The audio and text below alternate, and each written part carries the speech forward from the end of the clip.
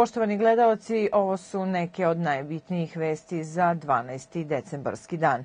U Srbiji je novozaraženih 5679 osoba. Od juče je testirano 16886 pacijenata. U poslednja 24 sata preminulo je 48 obolelih, a na respiratorima je 318 pacijenata. U Vojvodini je registrovano još 1794 slučajeva koronavirusa, a po broju novih slučajeva prednjači Novi Sad, gde je potvrđeno 509 zaraženih osoba, saopštio je danas Institut za javno zdravlje Vojvodine. Osim u Novom Sadu, situacija je kritična i u Pančevu, Zrenjaninu, Kikindi, Somboru, Subotici i Sremskoj Mitrovici. U Vojvodini je trenutno aktivno 40.349 slučajeva, a prema proceni instituta taj broj je daleko veći. Prema poslednjim podacima Zavoda za javno zdravlje Sremska Mitrovica na teritoriji opštine Stara Pazova je 1067 aktivnih slučajeva zaraženosti virusom COVID-19, saznaje radiotelevizija Stara Pazova.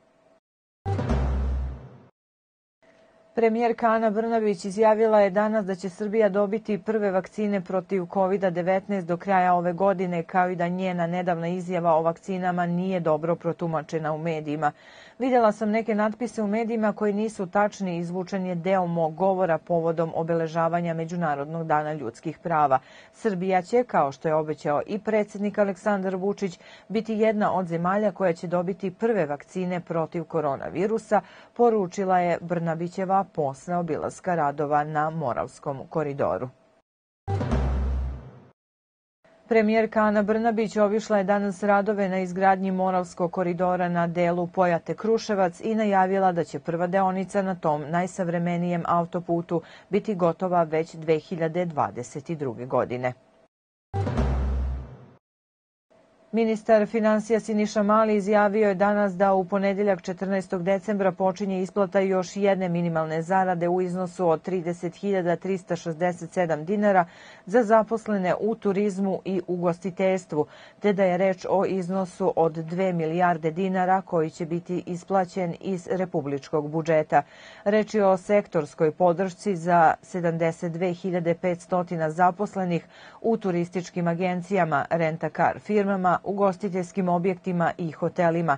Ta dodatna finansijska podrška znači će zaposlenima u ovom sektoru koji su zbog pandemije koronavirusa najviše ugroženi, naveo je Mali, a saopštilo Ministarstvo financija.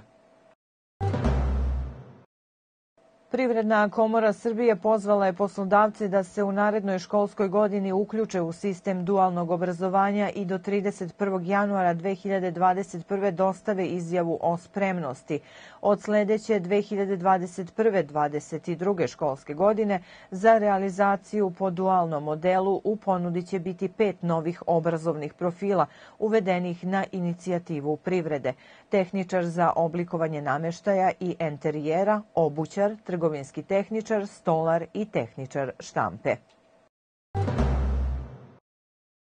Na dan Svete Lucije 13. decembra po Gregorijanskom kalendaru predstavljeno će biti novo izdanje Pazovačkog kalendara.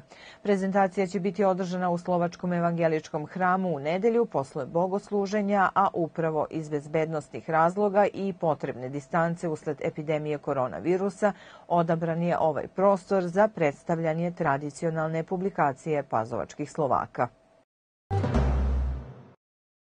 Globalno širenje COVID-19 virusa izazvalo je pitanje koje mnogi vlasnici kućnih ljubimaca često postavljaju veterinarima. Poznato je da kod pasa i mačaka postoje koronavirusi, odnosno takozvani pseći i mačiji koronavirus, ali oni sa COVID-19 imaju zajedničko samo to da pripadaju istoj porodici virusa.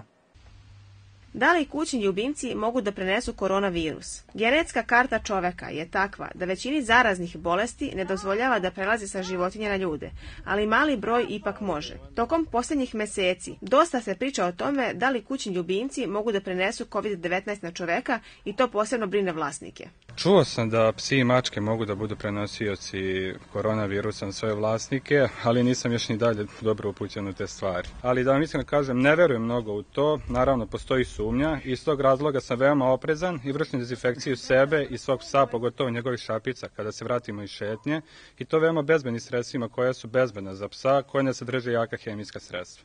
Nedoumice oko životinskog koronavirusa jasnije nam je objasnio doktor veterinarske medicine. Mački psi boluju od koronavirusa, ali koronavirus, ne ova vrsta virusa, nego jedan ovaj, isto koronavirus, koji kod mačaka i pasa izaziva neke određene promene, za sad nije zabeleženo da se ta, ta vrsta virusa prenosi sa kućnih ljubimaca na ljude. Da bi održavali higijenu, vlasnicima se preporučuje da čiste i vrše dezinfekciju prostorija gde životinje borave. Sredstva za dezinfekciju postoje za objekte, opremu, uređaje i e, naj, najbolji su hlorni preparati se pokazali u dezinfekciji prostora u kome žive životinje za suzbijanje ovaj, ovih virusnih infekcija. Preporuke koje važe za ljude koji imaju kućne ljubimce iste su kao i za one koji ih nemaju. Ne dodirujte lice, redovno održavajte higijenu ruku, tokom šetnje se držite preporučenog rastojanja od drugih ljudi, a nakon šetnje možete prebrisati šape vašeg ljubimca.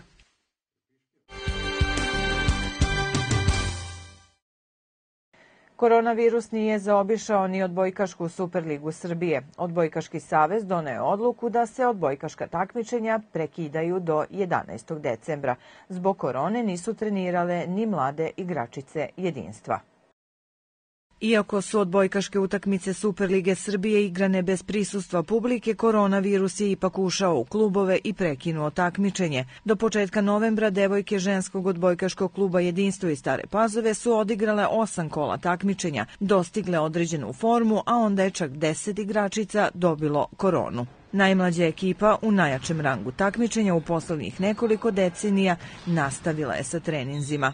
Naši treninzi su bili kratki, radio sam u dve ili tri grupe, devojke koje su sve vreme trenirale su nastavile da rade, maksimalne treninge, a ove koje su počele posle covid kada su bile negativne, naravno svi smo se testirale, Verujte mi da su radile za početak prvih 7 dana treninge od 30-45 minuta, pa smo vremenom povećavali obim rada, taj trening je sa 30 minuta povećan na 45, pa možda na sat vremena i sada u ovom periodu, pa evo, možda i mesec dana je prošlo od kako su, od kako su počeli simptomi naših devojaka, a, mi smo sada u punom obimu rada. Naredne nedelje od Bekašice jedinstva očekuje prva utakmica posle zvanične pauze.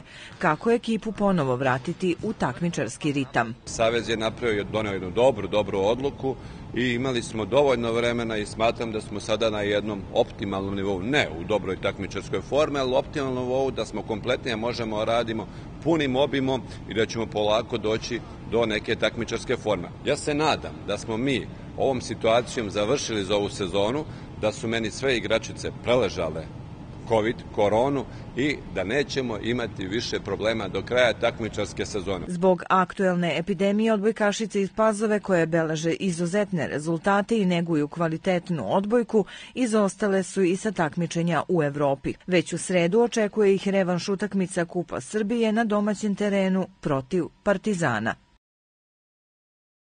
Aleksandar Inđić, šahovski velemajstor iz Stare Pazove u muškoj i Teodora Injac u ženskoj konkurenciji sve su bliži tituli šampiona Srbije na pojedinačnom šahovskom prvenstvu države u Vrnjačkoj banji. Sa triumfima protiv Čabarkape u petom i Todorovića u šestom kolu Inđić ima pet poena.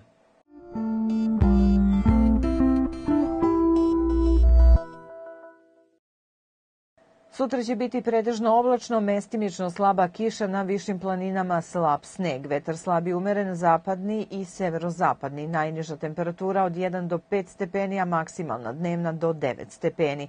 Jesenje vreme se očekuje i u ponedeljak. Pretežno oblačno, na severu suvo, u ostalim krajima mestimično kiša. Pratili ste vesti. Ostanite zdravi uz sadržaje radiotelevizije Stara Pazova.